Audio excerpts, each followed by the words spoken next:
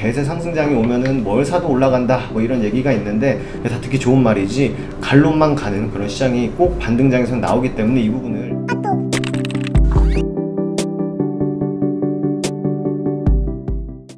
안녕하세요. 허브 경제TV입니다. 오늘 볼 종목은요 유니슨이라는 종목 좀 보도록 하겠습니다. 풍력 관련된 종목이죠. 지금 풍력이라든지 아니면 뭐 해상풍력 그 다음에 이제 태양 원전 이런 부분들이 시장에서 조금 중심을 좀 받고 있다고 좀 보시면 될 것 같습니다.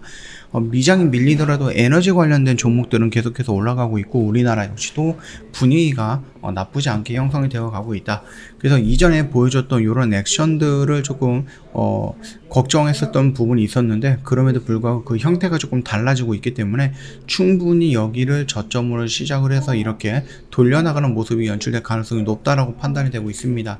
참고하시면서 영상 보시면 될 것 같고요. 자 일단 이 내용을 좀 보기 전에 저희 허브 경제TV 홈페이지 오시면은 카톡 친구 추가하는 방법이 있죠. 예, 요거 보시면 됩니다. HRB 2019에요. 이거 확인하셔갖고 요. 언제든지 저희한테 문의 남겨놓으시면 될 것 같아요. 뭐 무료 체험이라든지 아니면 무료 추천 종목을 좀 받고 싶다 하시면은 저희한테 요청하시면 저희가 다 안내해드린다 라고 좀 말씀을 드리겠고 저희 오늘 이 이벤트 마지막 날입니다 1년에 150만원 어, 굉장히 저렴하게 진행이 되고 있거든요. 시장이 어렵습니다. 혼자서 좀 이 시장을 대응하지 마시고 저희가 든든한 파트너가 되어 드릴 겁니다. 저희 허브 경제TV랑 함께 한다라고 했을 때 충분히 좋은 결과가 있지 않을까라고 자신합니다. 자 일단 신재생에너지 드디어 빛을 보는 것인가 라는 이슈가 나왔습니다. 예전에 이제 문재인 정부에서부터 시작을 했던 이 태양광 풍력 부분에 대해서 굉장히 많은 관심을 끌어갖고 많이 올라갔었는데 이제 윤석열 정부가 탄생을 하면서 이것보다는 원전 쪽에 조금 비중을 실다 보니까 다시 한번 조금 어 느슨해지는 모습을 좀 보였다가 최근에 갑자기 이제 러시아가 이 천연가스라든지 아니면 이런 것들을 가지고 어, 무기화를 해갖고 덤비다 보니까 충분히 이 부분에 대해서 다시 한번 어, 상승 모멘텀이 형성이 되어 가고 있는 기분 좋은 상황이다 라고 생각하시면 될 것 같습니다.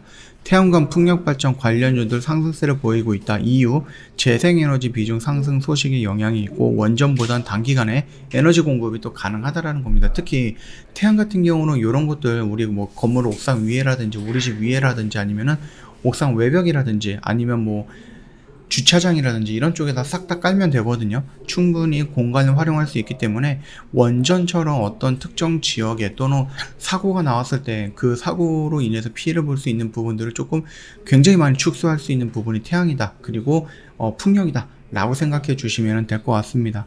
그러다 보니까 우리 어, 긍정적으로 신재생 에너지 부분도 성장할 수밖에 없다라고 생각해 주시면 될 것 같습니다. 유럽의 신재생 에너지 비중 확대라는 부분에 대해서는 예전부터 계속해서 언급이 되고 있기는 하지만 지금도 계속해서 언급이 되고 있죠. 풍력 발전기 제조업체인 CS 윈드랑 유니슨도 상승을 좀 보여주고 있다. 이런 얘기가 나와주고 있습니다. 신재생 에너지 관련된 종목들은 이제 한동안 강세를 유지할 것으로 보이고 있고요. 원전보다 빠르게 에너지 공급 인프라를 구축할 수 있다는 점, 국내 에너지 정책도 신재생 에너지 비중을 늘리는 방향으로 가고 있다는 점에서 긍정적이다라고 좀 보시면 될 것 같습니다. 러시아발 에너지 수급 불안이 재생에너지 시장의 확대를 가속화하고 있는 반면에 메탈 가격과 운송비 등 비용 상승이 안정세로 진입을 하고 있다는 겁니다. 국내의 에너지 정책도 2030년에는 신재생 에너지 비중을 20에서 25% 수준으로 확대할 것으로 예상하고 있기 때문에 국내에서도 견조할 것으로 확인이 되고 있습니다. 수요가. 그리고 태양 풍력 업체들도 주가가 다시 한번 주목받을 시점이 왔다라고 합니다. 자, 그러면서 무려 3,500조 정도의 해상풍력 시장이 열렸다. 2년치 주문이 꽉 차 있다. 이러면서 또 긍정적인 얘기가 나와주고 있거든요. 전 세계적으로 탄소 중립과 에너지 자립 중요성이 높아지면서 풍력 발전이 각광을 받고 있는데 특히 바다 위 유전이라고 불리고 있는 해상풍력 분야에서 국내 업체들이 선전을 하고 있다라고 합니다. 그래서 이 부분들을 좀 보도록 하겠습니다. 해상 풍력은 말 그대로 바다에 풍력 터빈을 설치해서 불어오는 바람으로 전기를 생산하는 발전 방식이다. 이렇게 보시면 되는데 해저 기반을 고정시키고 기초 위에 그 발전 타워를 올리는 고정식 그 다음에 해저 지반을 닭과 새솔로 연결하는 부유체 위와 또는 뭐 발전 타워를 세우는 부유식으로 나눈다라고 좀 보시면 될 것 같습니다. 이게 뭡니까? 결국은 이렇게 바다가 있고 땅이 있으면 여기서부터 박아서 하는 것 또는 여기 있으면 여기에 띄고 이런 쇠사슬로 연결한다는 거 이런 식으로 좀 봐주시면 될 것 같죠 또는 여기서 이렇게 이만한 타워를 세워갖고 여기서 파도 있으면 여기다 이렇게 세우는 거 이런 식으로 좀 여러 가지 형태가 나눌 수 있다라고 보시면 되는데 이런 것들이 거의 다 이제 뭐 해상 풍력이다라고 좀 봐주시면 됩니다 아무래도 바다가 깊숙 너무 이제 깊이 있다라고 하면 여기서 여기까지 이렇게 어, 시멘트로 깔아 올리기는 어렵기 때문에 부유식으로 진행이 될 수도 있겠죠. 그래서 여기에다 이제 쇠사슬을 쫙 해갖고 이 바다 위에다가 이런 식으로 만들 수 있는 부분. 그러나 또 해저가 얕을 때에는 이런 식으로 할 수도 있는 부분이고 더 얕을 때에는 어 그냥 땅에다가 이렇게 기둥 박아갖고 여기서 이런 식으로 돌릴 수도 있는 거니까 그 점도 참고하시면 될 것 같습니다. 뭐 이후에 어쨌든 뭐 어떤 형식이든 간에 결국은 바다 위에서 이 풍력을 이용해서 에너지를 확보한다라고 좀 보시면 될 것 같거든요. 그렇기 때문에 어, 어, 뭐 신재생 에너지로서 굉장히 좀 좋은 흐름을 연출해줄 거다라고 좀 보시면 됩니다. 물론, 물론 이제 그 바다에서 어업을 하시는 분들한테는 이제 생활 터전이 없어질 수도 있는 부분이기 때문에 조금 어, 신경이 쓰이거나 아니면 그 부분에 대해서 또 타협도 논의도 많이 해야 되는 부분입니다. 시간이 걸리겠지만 세상에 거스를 수 없는 흐름이라는 것이 있고 그 흐름은 풍력이다라고 좀 보시면 될 것 같아요. 유럽과 미국이 이미 풍력 발전 설치 목표를 대폭 늘렸습니다. 규제도 풀고 있죠. 아시아에서는 중국이 압도적이고요. 대만과 일본도 뒤를 따르고 있고 최근에는 러시아, 어, 브라질, 인도까지 해상 풍력에 도전을 하고 있습니다.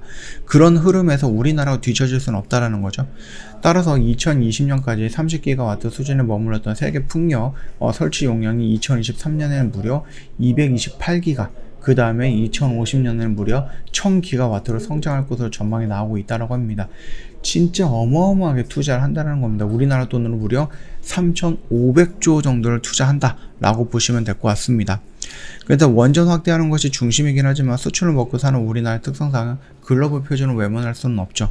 그래서 원전으로 아리백을 채울 수는 없고 이미 아리백을 달성을 총력을 기울이고 있는 글로벌 고객사들의 요구를 들어줄 수밖에 없는 상황인 거고 그렇다라고 했을 때는 원전으로 부족한 부분을 태양과 풍력이 채울 수밖에 없다라고 좀 보시면 됩니다.